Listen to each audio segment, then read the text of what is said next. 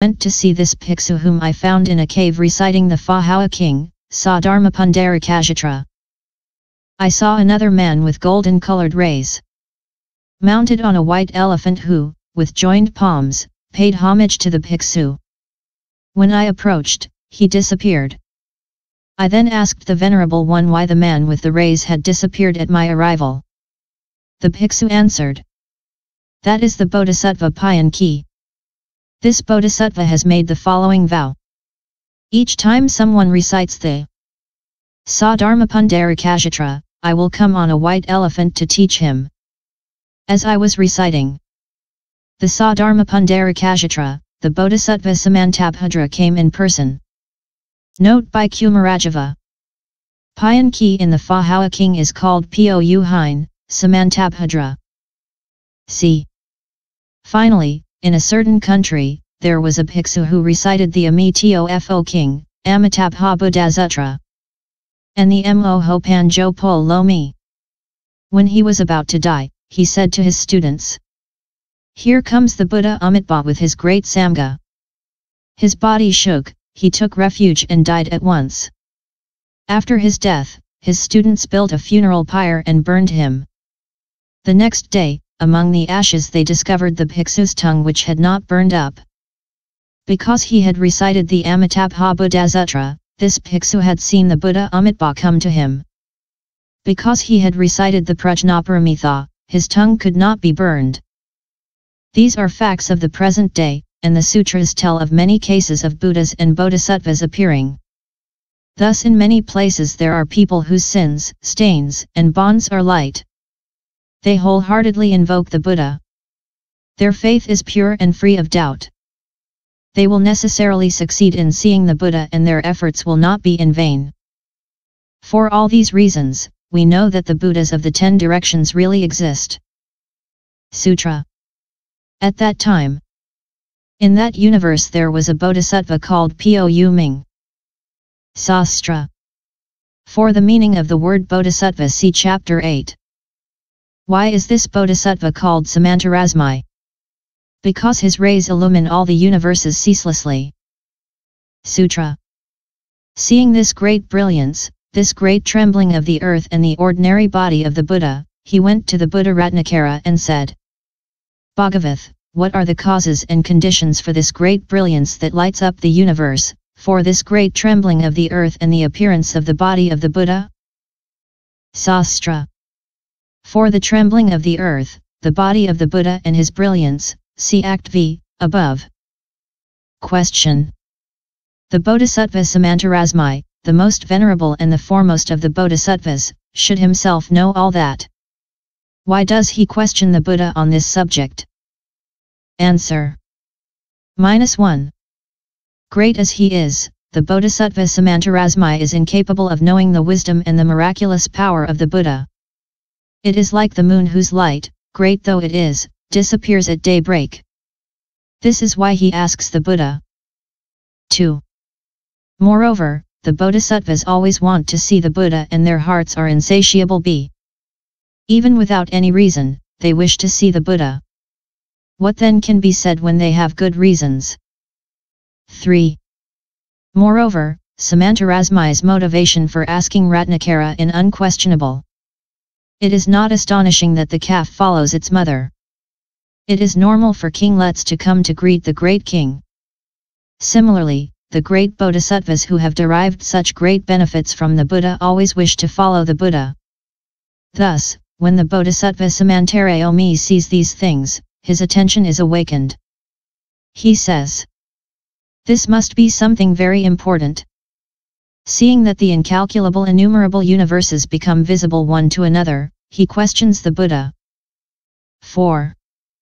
Finally, some say, the Bodhisattva Samantarasmi knows the reasons for these miracles because he himself has miraculous power or because the Buddha Sakyamuni makes them known to him. If he asks the Buddha, it is intended only for the lesser bodhisattvas who do not know. These lesser bodhisattvas, out of fear of objections, do not dare to question the Buddha. This is why Samantarasmi asks for them. The Bodhisattva Samantarasmi guides the Ratnavati universe with its youths and maidens. therefore he knows that they cannot ask the Buddha. Just as when a big elephant uproots a big tree to allow the little elephants to eat its leaves, thus Samantarasmi questions the Buddha for the lesser bodhisattvas and asks him, Badantat, what are the causes and conditions for this great brilliance, for this great trembling of the earth, and for the appearance of the body of the Buddha? Sutra The Buddha Ratnakara answered Samantarasmi. O son of good family, in the West, beyond universes as numerous as the sands of the Ganges, is the universe called Sopio, Saha. The Buddha named Sakyamuni is there who, at this time, is preaching the Prajnaparamita to the Bodhisattva Mahasattvas. These marvels are caused by his miraculous power.